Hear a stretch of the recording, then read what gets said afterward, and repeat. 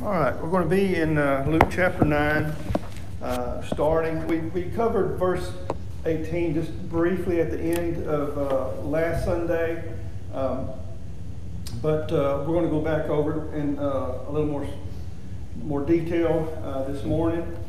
And um, in chapter uh, 9, in the, the beginning of it, is when Jesus set, sent out the 12 uh, and gave them power and authority to perform miracles and to preach the message of the kingdom, the gospel to, uh, uh, to, the, to the people in the surrounding uh, cities. And uh, word had gotten out not just about his disciples, but it was spreading about Jesus.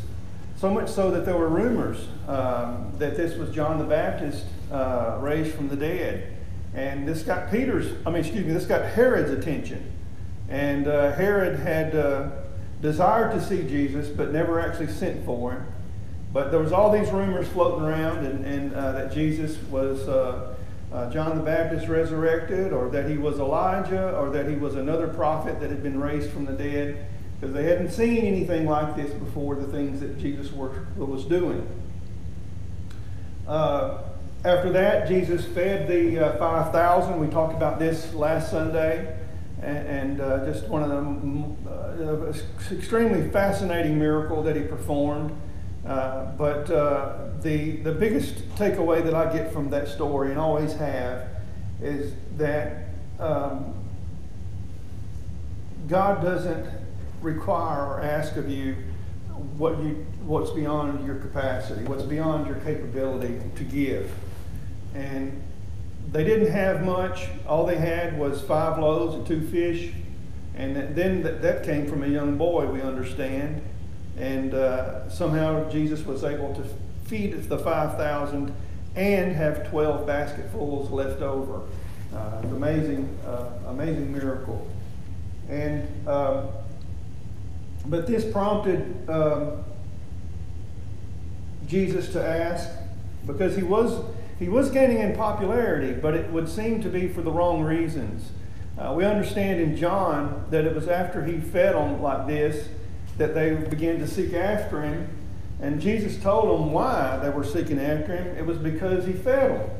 And they were looking for more. They were looking for more uh, of this miraculous food. And uh, so they, they, he was gaining popularity, but it might have been for the wrong reasons. And in verse 18, it says, And it came to pass as he was alone praying, his disciples were with him, and he asked them, saying, Whom say people that I am? And this harkens back to uh, verse uh, 7 and, and uh, 8 uh, in this same chapter, where Herod heard news of what people were saying about Jesus. And it's amazing to me that it can be all these years later, uh, approximately 2,000 years later, and still uh, people aren't sure what to make of Jesus. They're not sure what to think of him. And which is astonishing to me. It should be clear and it should be very plain uh, that, that he is indeed the Son of God, that he is indeed the, the promised Messiah that, was, that had come to uh, uh, uh the people of Israel and um, that God had raised him from the dead. And to, you know, these things seem to be uh, historical facts that are indisputable. Uh, uh, that, that Jesus was and that he lived and that he performed these miracles. He didn't do it in some sad corner that nobody knew about. Uh, he, he, did it, uh, uh, the whole land here knew it. Even the Roman government knew about it. Herod knew about it. He had wind of it. But rather than get to the bottom of things, and rather than find out who Jesus really is and what he's really about, uh, they would just continue to linger uh, uh, in the, I guess, the, uh, this indecision, so to speak, and, and not really ever get to the bottom of who Jesus was and, and what he came to do. 2,000 years later, there are people still like that. Uh, they're still indecisive. They are, they, they're still curious about Jesus, curious about who he is. But they would be more likely to pay attention to a, a ridiculous horoscope in the newspaper than they would uh, to the words of Jesus. Uh, Jesus asked this question uh, Whom say the people that I am? And they answering said, John the Baptist, but some say Elias, and others say that uh, one of the old prophets is risen again. And the question that he asked next is extremely uh, important. And this is what Jesus was getting to, is where, in asking the question to begin with. He says, um, But whom say ye that I am? And, and that's the important question. And Peter answering said, The Christ of God. And the Christ is, uh, means the Messiah, uh, means the anointed one of God that was sent in fulfillment of the, uh, of, of the, uh, the Old Testament prophecies. Um, and uh, it says, And he straightly charged them and commanded them to tell no man that thing. Uh, I'll comment on that in just a second. But first, it's important that for one thing, it's to not be distracted by what other people think of Christ. And I think that's what Jesus was getting across to his disciples. There was all these rumors floating around. But his disciples had been with him, had seen him face to face, and knew him full well, who he was and what he was about. And but what really mattered was not what other people thought. What mattered was what do you think? What do you think of Jesus? What do you think uh, uh, of, of, of him, of who he is, and, and, and what he had come to do. And the decision always comes down to that. People get wrapped up into uh, what other people will think of me uh, should I profess Christ. And, and, and uh, you, you, know, they might be worried about uh, the reputation or some such thing as that. but everyone needs to answer that question who do you say that Jesus is? What do you believe about him? Who is he to you? Uh, not that that changes his nature by any means of you know uh, what Jesus is and, and what he came to do, but we everyone needs to face that question because he is indeed the Christ of God. He is indeed the King of Kings and the Lord of Lords, and there's no other name under heaven whereby a person is saved other than Jesus Christ. That's the, that, that's it. That's the only way. So it's important for everyone to come to terms with what do you think of Jesus?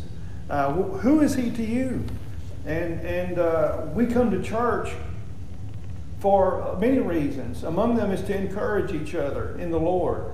And uh, one of them is to, uh, uh, uh is to meet with the Lord, to meet with Him in spirit, because the scripture tells us where Jesus taught, said that where two or more are gathered in my name, there I am in the midst of them. So, uh, but, but, but among those many reasons we, that we come, we come to encourage each other. And, uh, but at the same time, I'm, I'm not living your Christian life for you, and you're not living it for me. Uh, the, what, what it all boils down to is not what you think about him or what someone else thinks about him, but what I think about him. And, and, and you have to consider what you think about him. And, and uh, we don't do this vicariously through anyone else. And what it boils down to is we hear the gospel, and what is it that we do with it? Do we believe? Do we trust in Christ, or do we not? Um, that's um, it. Doesn't even really come down to doctrine. The the uh, uh, well, I shouldn't say doctrine because there there is some doctrine, like the doctrine of, of uh, salvation. The you know the gospel itself is a doctrine; it's a teaching. So I don't. Uh, but what I'm speaking of are the things that differentiate us, let's say, from other so-called Christian organizations and Christian churches. Uh, it isn't even about that. It's about your relationship with Jesus Christ. You can be right on baptism. You can be right on the Lord's Supper. You can be right on on uh, the, the, the nature and the origin of the church. You can be right on all of those things, but if you haven't uh, done what is proper with the Lord Jesus Christ and seek a relationship with Him and trust in Him, if He's not the center at the very core of our being, then we've got something wrong. we have to address the question who is Christ to me? Is he my Lord? Or is he just something in the peripheral that's, that's uh, like these people were thinking? He's some prophet or he's Elijah or not really sure what he is or who he is to you. Uh, you have to be sure uh, who he is to you. And, and it says that he charged them that, he would, that they would tell no man. Well, why in the world would he do that? You would think that he would be telling them, okay, go spread that message. But the time had actually passed for uh, the fulfillment of the uh, scriptures in the way that they thought that it would happen. They were, they were in the process of rejecting the Messiah. And uh, uh the, uh, they, you know, John the Baptist, the, the, the forerunner to Christ, uh, had himself even second thoughts while he was in jail. Uh, he was the one that introduced him to the people. He introduced Jesus to the people, and he said, "This is the one." Well, now he's in. You know, later he's in jail, and then he's wondering himself. Uh, the reason he was wondering is because things weren't happening the way it appeared they should, according to Old Testament prophecy, and it, it, it made him to doubt. When the people start started saying there's a great prophet among us, John is most likely thinking, "Wait a minute." Jesus is not supposed to be a, just a great prophet. He's supposed to be the Messiah, the Son of God. Uh, that, so he wanted to be sure, and he sent word to Jesus. But anyways, he, he had those doubts uh, because of the way things were happening around them. And uh, at this moment in time, that uh, uh, Jesus wasn't wanting to spread that message. Uh, that message that John the Baptist that had already been rejected by the people in, in seeing what had happened to John the Baptist. But the he tells them, he says, The Son of Man must suffer many things and be rejected of the elders and the chief priests and scribes and be slain and be raised the third day.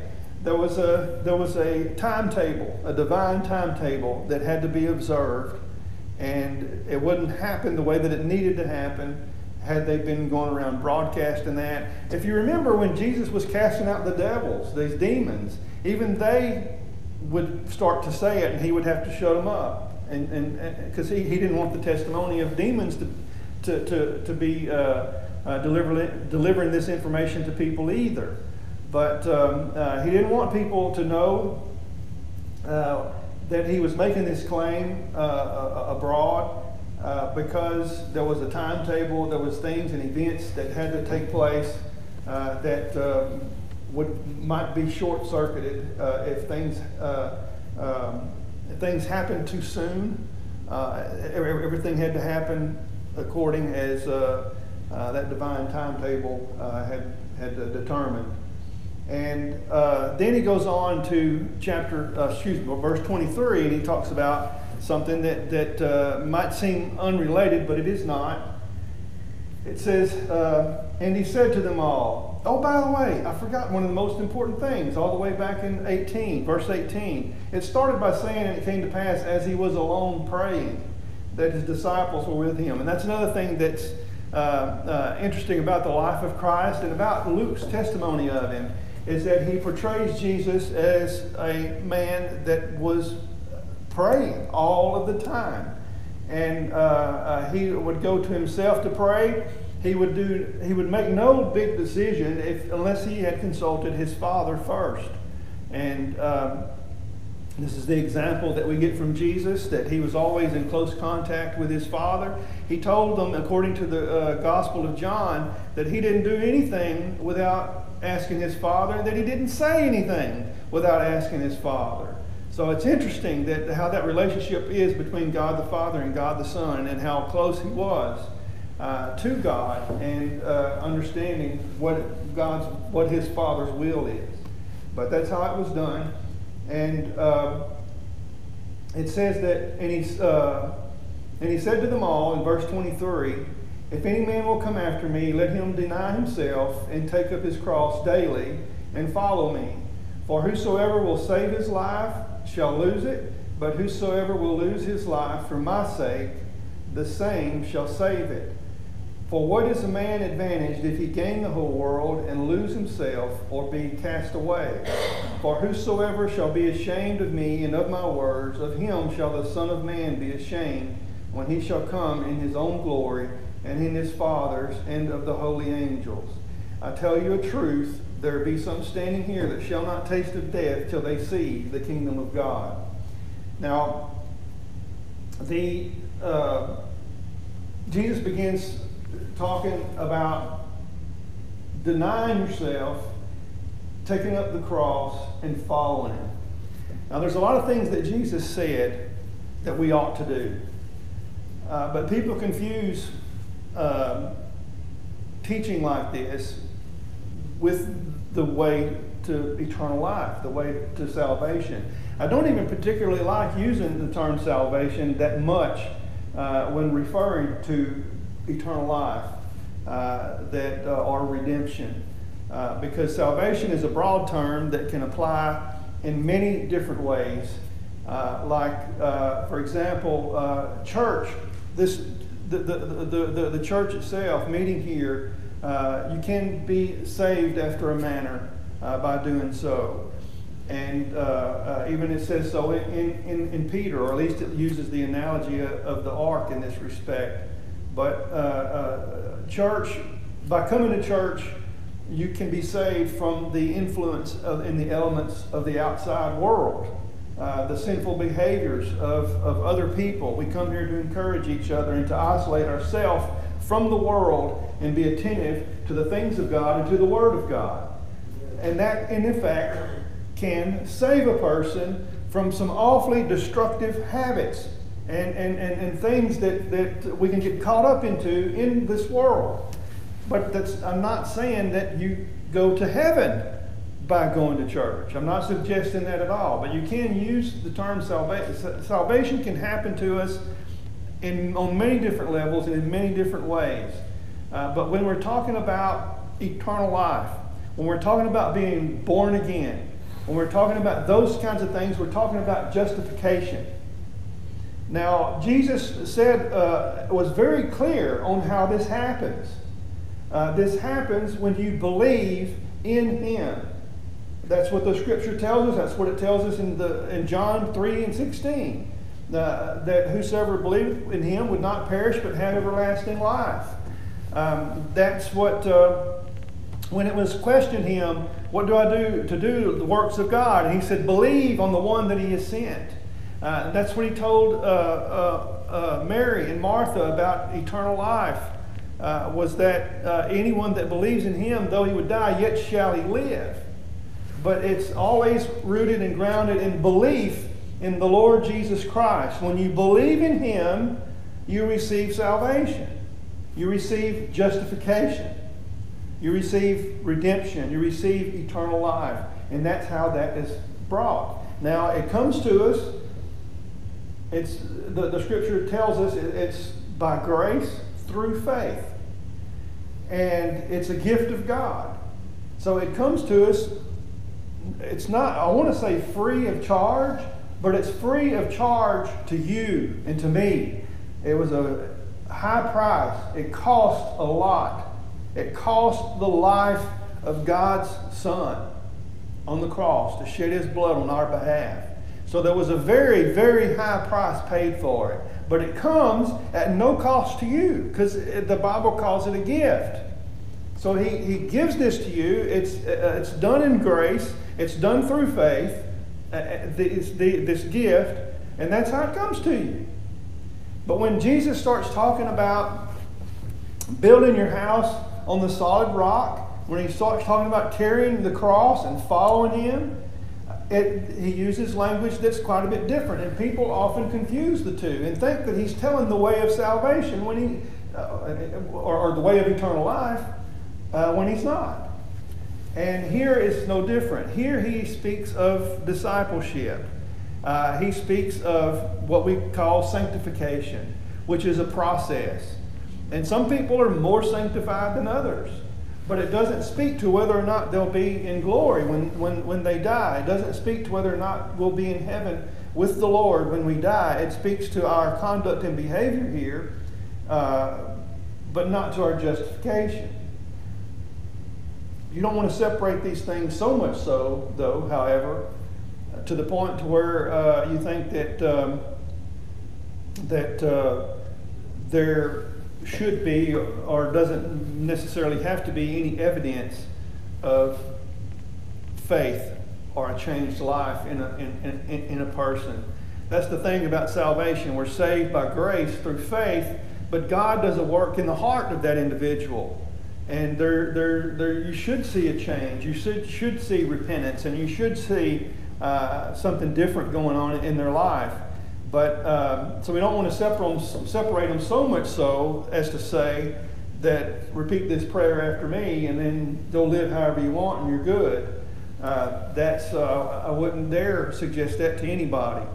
But it's also necessary to understand that justification, eternal life, comes one way, and that's through faith in the Lord Jesus Christ, and it comes to us by His grace. Uh, you know, when Jesus says something, uh, when it comes to salvation, when it comes to eternal life, Jesus' message is come unto me. Come unto me, to me. That's what he said. Now, when he talks about discipleship or sanctification, he says, Come after me, follow me, do what I'm doing. But he doesn't say, Do what I'm doing in order to get eternal life. He's, he tells us to do that because that's the good and the proper thing to do. That's, that's how you are blessed. That's how you build your house on the solid foundation. When you do what Jesus does and when you follow his teachings and when you uh, uh, adhere to, uh, to uh, the things that he's saying. It's like building your house on a rock so that when the storms come, and they do come, your house is still standing. Whereas on the sand, uh, on the shifting sand, when the rains come and the winds blow, your house comes crashing down. Uh, it's not. It doesn't speak to sal- It doesn't speak to eternal life. It speaks to sanctification, and it speaks to this life here and now and how we live it and what it looks like. Well, what does it look like to uh, deny yourself? He says, "If any man will come after me, if any, in other words, if any man will follow me." He just told them that he's going to have to be slain and raised the third day. He says, if, and, and if any man will come after me, let him deny himself and take up his cross daily and follow me. Uh, for whosoever shall save his life shall lose it, but whosoever shall lose his life for my sake, the same shall save it. It's not talking about eternal life. He's talking about your life here and now. Um, the uh, I was reading uh, uh, Harry Ironside's commentaries on these, and I, I don't remember the exact quote, but he was uh, sharing uh, uh, about when he first uh, uh, believed the gospel, when he was first saved, and how he how his life had changed, and the things he once enjoyed, the things he once wanted to do, he no longer wanted to do those anymore, and he he he wanted to change in his life, and that was indicative in his behavior. And his friends, his he said that many times they would even make fun of him uh, for his faith. And sometimes, at least one of them on one occasion, would say that why, are you, why did you do this? You threw your life away. You know, and they're, they're lamenting that he threw away all the good times and all the fun times, and they're thinking that he's involved in this Christianity now, and he's, he's thrown that all away. But what he, his response was, yes, I did throw it all away. That was what I fully intend to do, and I hope to throw away more of it. Because this is what I'm told to do by my master. If Jesus is my Lord, He's my master, and I want to do what He tells me to do, this is what He says do. But uh, we have a great we have great examples of how not to do this. Uh, we see it in the scriptures. We'll see it uh, uh in this very chapter. But uh, what did Peter do? He denied the Lord. He didn't deny himself, he denied the Lord. He did it three times. And, and you think about what he did, what he said when they said, Hey, I know you, you, you, you, uh, you're one of his followers, aren't you? I, I don't know what you're talking about. And then another would come and say, Hey, weren't you with him? I don't even know this man. You know, and, and things of that nature. He was denying the Lord. He wasn't denying himself, he was denying the Lord. And that's what that looks like. So when, when we see what denying the Lord looks like, then we can know what denying ourselves looks like. And, and, and uh, uh, and exalting the Lord. That's when you say, I do know him. Let me tell you about him. Let me tell you how he has changed my life. And let me tell you how he has helped me and how he has made me a new person and how he has helped me to throw that old life away that I once had and embrace the new life that he now gives me in him. You know, that's, that's, what, it, that's what it means to deny yourself. Uh, to, and and, and, and uh, it's to give up on that old, old life the people that try to save their life, uh, we're in 1 Samuel on Wednesday nights, and it's amazing to me how Saul is such a great example of someone trying to save their life. Saul knew that the kingdom had been given to David, and he does everything in his power to hold on to that throne. Even though God has determined, I'm taking it away from you. Even though the prophet of God, Samuel, had told him the kingdom is no longer yours. I'm taking it and giving it to another man. Saul's solution is kill the other man. That way I can keep it. And Saul was went through like David ran for his life for around 10 years, living in caves and caverns and living in hiding for his life. Uh, Saul, on the other hand, uh, was uh, trying to preserve his position, preserve his life as he knew it. And he would believe and get to thinking and, and believe rumors that David was laying in wait to kill him and to overthrow him. And David had no desire to overthrow him and to take the throne in that way. He had no desire to do it. But Saul would be convinced that David was out to get him, that David was out to kill him. Do you know who killed Saul? Saul. Saul killed himself. Isn't, it, it, it, isn't that the way that it happens, though? Whenever you go away from God, whenever you depart from Him and, and, and d- d- depart from His words and from His will, the very thing that you try to save is the very thing you end up taking. Uh, it's so much better, it's so much easier if we just surrender to the Lord and just say, Lord, not my will, but thine be done. And uh, it's easier said than done. Uh, mind you, uh, I think we all understand that full well. Uh, but he, but he's, he uses just plain simple reason. What, what is a man advantage if he gain the whole world and lose himself? What, what advantage is it if a person gains all of his dreams and everything that he thinks that he wants, but in the process loses his own soul? It's not a very good trade. Um, Whosoever shall be ashamed of me and of my words, of him shall the Son of Man be ashamed when he shall come in his own glory and his Father's and of the holy angels. Now he speaks about his return, when he returns to set up his kingdom, when he returns as the king. He says, I don't want to be ashamed of you. And if, but if you're ashamed of me and my words, that's what's going to happen. I'll be ashamed of you. And then he, he speaks a little bit about that kingdom and says, I tell you the truth, there be some standing here which shall not taste of death till they see the kingdom of God. And I'm amazed at the amount of the number of people that wonder on that passage and say, does that mean that the that the apostles would still be alive today because the kingdom of God still hasn't come yet, at least uh, uh, as we understand it. And uh, some might even use this to uh, to spread doubt or, or, to cast doubt on, on, on things in God's plan. But and we understand in verse uh, 28 uh, exactly what he's talking about when we see what happens. He says this that some of you standing here is going to see the kingdom of God with your eyes. He's, that's what he means.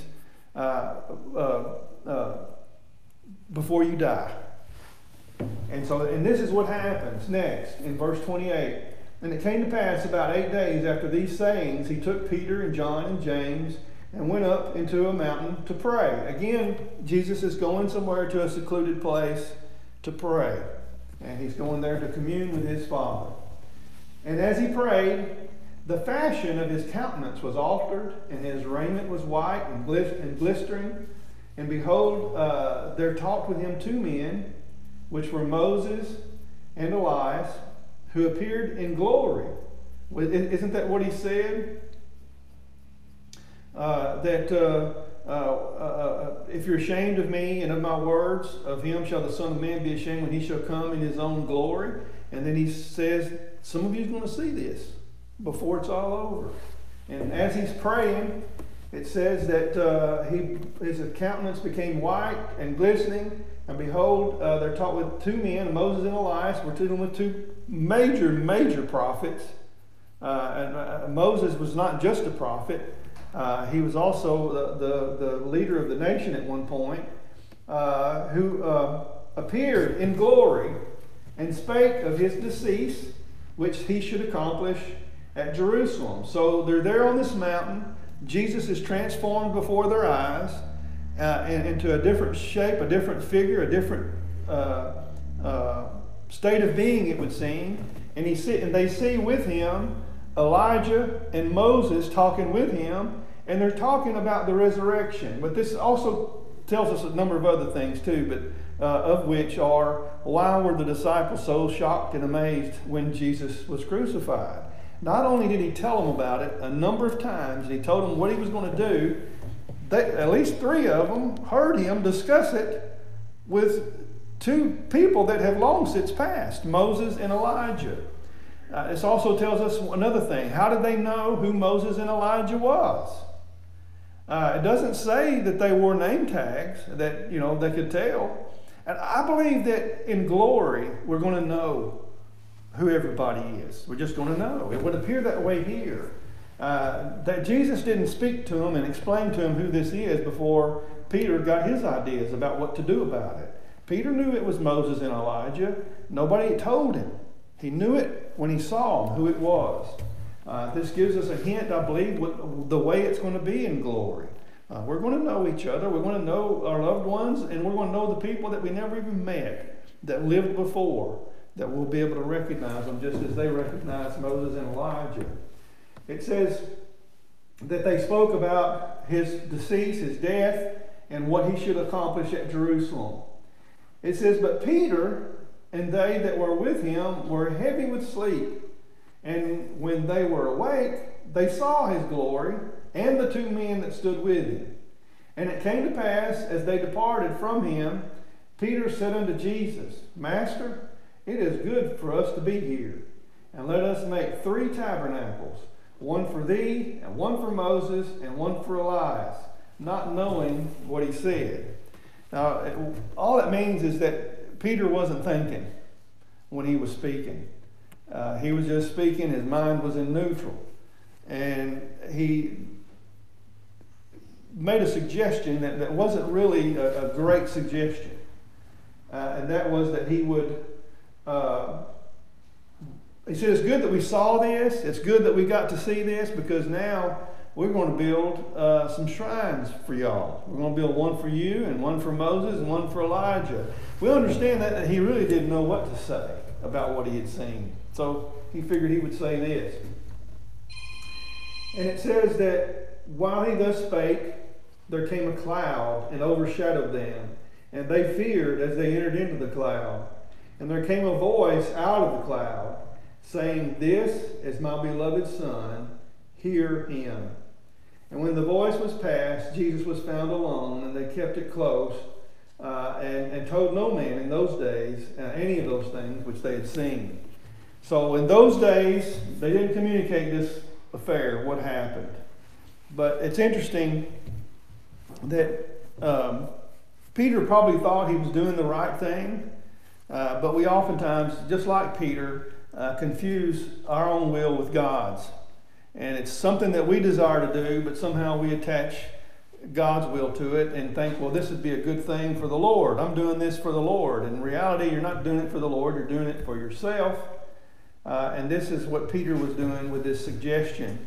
It sounded like he was doing a great thing or wanted to do a great thing for the Lord, but it's something that the Lord didn't ask for and didn't even want. Um, but the Lord let him know exactly what he wanted from him to do, exactly what he wanted to take from this experience. Um, the, he needed not be impressed with the fact that Moses was there, or that Elijah was there, or that they were talking. Uh, what God the Father brought his attention to was his son. And he said, This is my beloved Son. Listen to him. Listen, hear him. Uh, he even adds the words we understand from the other Gospels in whom I am well pleased. I am highly, highly pleased with my Son. And I want you to listen to him, hear him.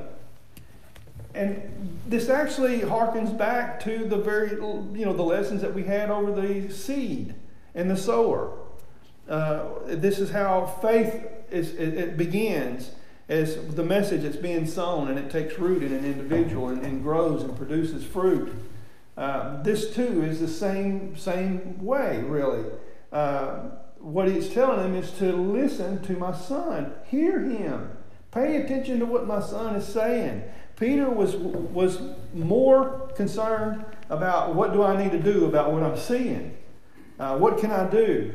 Uh, for, he might even been thinking, I'm going to do this for God's glory. I'm going to do this for the Lord.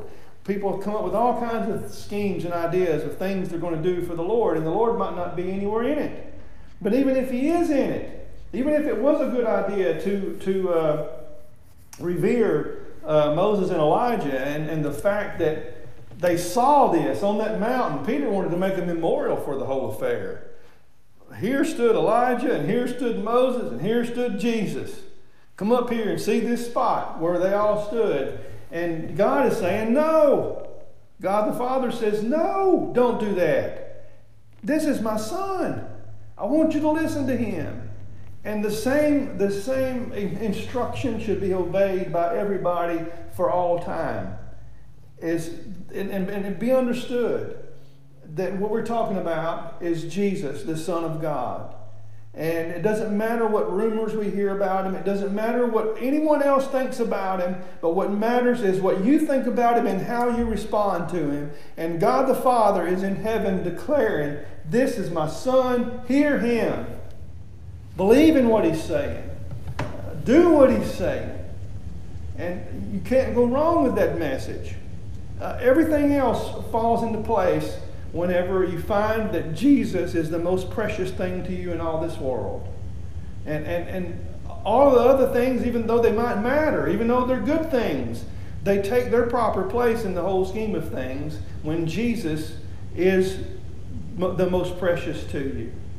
And when we pay attention, we don't have him here bodily. We can't see him on this mountain, and we can't see that glory, and we don't see the things uh, with our eyes but we hear it. And that's what God the Father was declaring from heaven. It was so important for them to do. That's the message that he gave to them people at that moment in time was this is my son and I am highly pleased with him. I want you to listen to him. And that's the message that goes out through all the ages is to hear him. This is God's son. You won't find any greater advice. There's a lot of people in this world that give good advice. Uh, there's a lot of people that I like to listen to, and I, they, they, they, you know, they say things and I'm like, wow, that's good. But you know, there is no person on this earth that can give you any better advice than the Lord Jesus Christ. And, and, and what he says is to believe in him. And what God the Father says from heaven is to believe in him, hear him. That's the testimony and, and, and, and the works that Jesus did that came through the Holy Spirit that's the same message that comes through his his uh, deeds was to believe in him. He is worthy of our trust. He is worthy of our of our confidence. He is worthy of our adoration, our love. He is worthy of it all. And that's the main reason why we should give it. It's not because of what we think um, uh, we might do or might accomplish. It has nothing to do with any of that. It has everything to do with elevating God's Son to the point in your life where He is your Lord and He is your Master, and you're going to listen to Him and you're going to pay attention to what He says and do what He says. Uh, there's nothing in this world more important than that. That's what should be taken away from the Mount of Transfiguration. Is this is my beloved Son? Hear Him. Let's go ahead and bow our heads. Heavenly Father, we're grateful uh, for this time together, and we pray, Father, that you would help us to uh, be mindful of these events and these things that took place all those years ago. Uh, we know that that message is just as important today as it was then. that we need to listen to your beloved Son. And I pray, Father, that you'd help each one of us to, uh, to know him, to help us to trust in him more, and help us to believe in him more. If anybody's hearing this message today that hasn't ever trusted in the Lord Jesus Christ for salvation and believed in him, I pray that they would do so. And Lord, we ask these things in the name of Jesus. Amen. Let's go ahead and stand.